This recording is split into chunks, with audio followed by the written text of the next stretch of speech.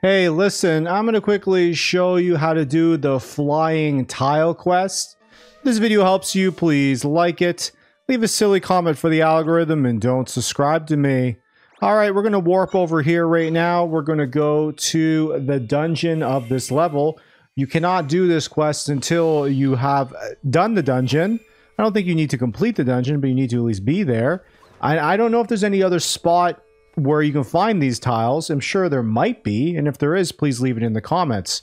So I'm just, I already finished the dungeon, so I'm going to go ahead and visit it again.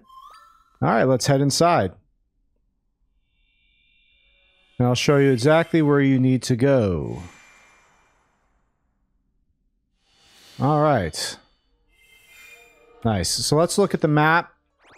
Uh, it's all the way up here in this room right here. So let's go ahead and warp there.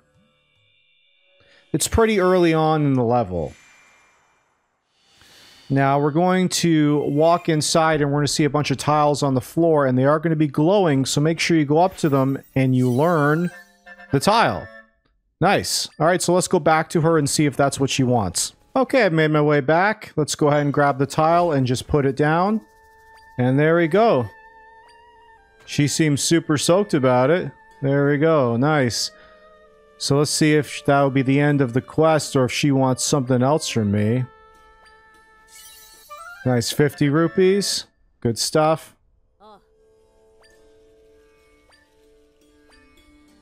And that's the end of the quest. If this video helped you, please like it. Leave a silly comment for that algorithm and don't subscribe to me.